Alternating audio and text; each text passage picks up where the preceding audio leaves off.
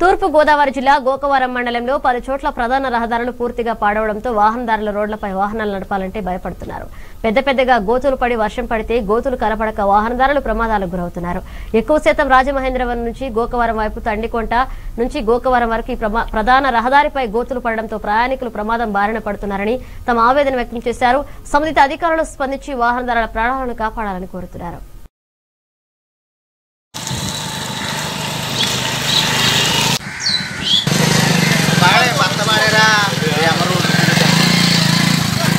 బాగా భర్త మారేరా ఎవరు అలాగే ఉంది అలాగే ఉంది